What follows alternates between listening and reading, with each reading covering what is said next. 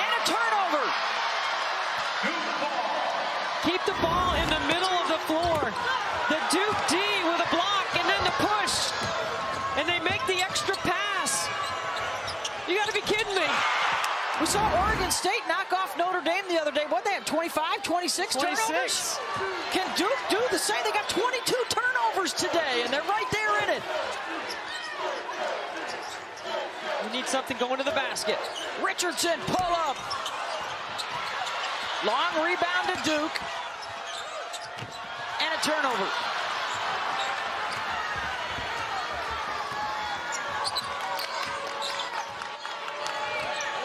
Duke has all four timeouts. They have not used any timeouts.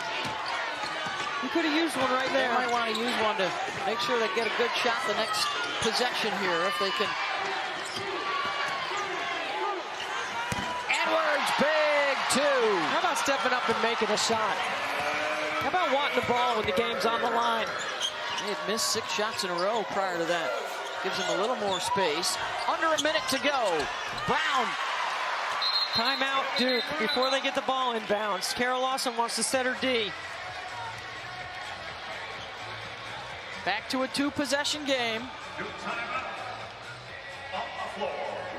You got to give it to the Duke kids, right? They're hanging in there. Edwards drives Kennedy Brown back. Takes a jumper from the nail. And then Kennedy Brown inside. Her second basket of the game. Let's send it over to Angel. I was just in that last Duke huddle, and that is a team that believes that they still have time to win this ball game. Kara Lawson looked at them and said, "We got here because of our defense. Let's win it that way. We need stops and then go. Believe that you can do it." And you saw them in the last couple of possessions offensively. Can they continue to get stops on defense, though? Well, the leadership of this experienced UConn backcourt of Bueckers and Mühl. Can they stay composed here under pressure? So Paige is inbounding it. She's probably going to get it right back. Arnold That's held a up, jump ball. ball, Duke ball. Coach Auriemma cannot believe it.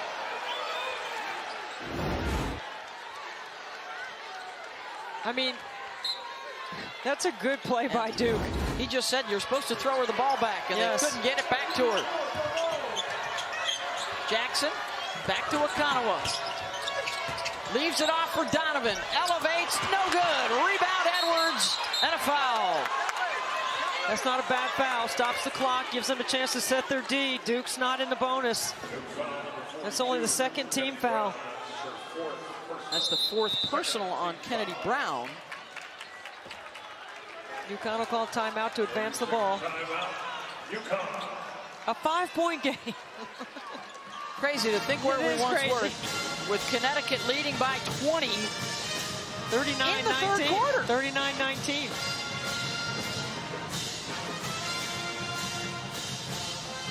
And Duke has just hung around. They're outscoring Connecticut here in the fourth quarter, 18 to 8. So there's the situation with the timeouts, the fouls to give. UConn has the arrow as well as the basketball. Well, I'm Duke. I'm telling the officials, I'm going for a hard trap and a steal. Do not anticipate that I want to foul immediately. I want to get a chance to make a play on the ball first. And if I'm UConn, I'm putting the ball in my best free throw shooter's hands, Paige Bueckers. You Bueckers got, will be the inbounder here. You're going to pass it right back to her as soon as she steps in bounds.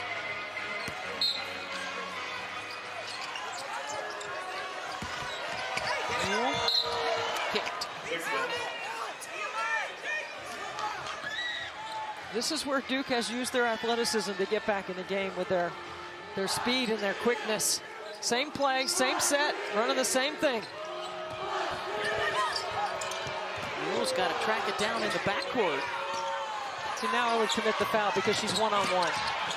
Here comes the double, and there's a foul. You turn her, and then you try to get the steal. And that's a good job by Duke. You turn her, and then you get the steal. And if it doesn't happen, you got a foul. And that's a risky play, throwing the ball in somebody's backcourt. 30 seconds to go. Still with fouls to give.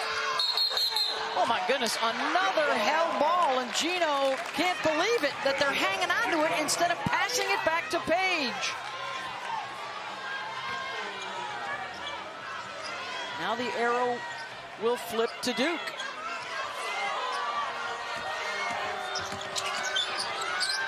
You got to get the ball. Muir fouled. That is the fourth. So the next one will get Connecticut to the line. I think Duke has managed it pretty well, trying to get a make a play on the ball, right? Trying to get a steal, and they tied him up. Now they have the possession hour. If you don't get a steal right away, you got a foul. Give enough time. Right back to Bueckers, and she's fouled. Only two seconds went off the clock. But unfortunately for Duke, that's not who you want on the free throw No, line. even though she's missed a couple times tonight, statistically she's their best. She missed two in a row in the first half. 84% on the season.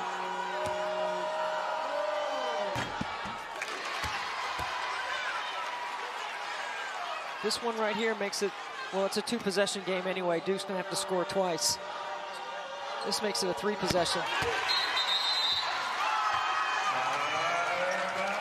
Paige Bueckers, 23 points. And now it's 52 to 45. Let's take a look at tonight's Capital One rewarding performance. And it is Bueckers. I mean, Bueckers moving without the ball. You go underneath. She goes to the dribble handoff. She's going to make you pay. She's going to stick that triple. That's her second three. And then watch this. Sets up the back door. Nika Mühl dribbles right at her defender, and that's the indicator to go back door, which she does so nicely. Capital One, rewarding performance. We're going to give it to Paige Bueckers, 23 points on 21 shots. Her sixth consecutive 20-point game. But she's had a lot of them this year, 25 of them uh, before tonight. Duke's got to hurry. Brown stripped away by Bueckers. Duke will keep it here. 13 seconds to go. You can get a quick two right here under the basket.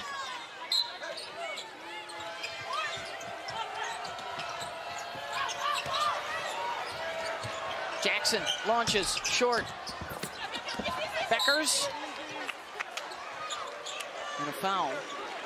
And that's going to be on Kennedy Brown, and that'll get Aaliyah Edwards to the free throw line with six seconds to go. And now the Husky fans are on their feet, sensing that they are headed back to the Elite Eight and a date with USC. Usually I say in a physical contest it's a double ice bath game, but I think you and I are going to need a double ice bath after this one. Double something. but it uh, it came down to a tight one at the finish, at least, after uh, neither side could shoot it particularly well today. But you know what? For Connecticut, as it stands, put this one in the rearview mirror and get ready to face the Pac-12 champions. You know, the most important thing Connecticut needs to do next is rest. More important than the reps. Yep. When you're short on numbers,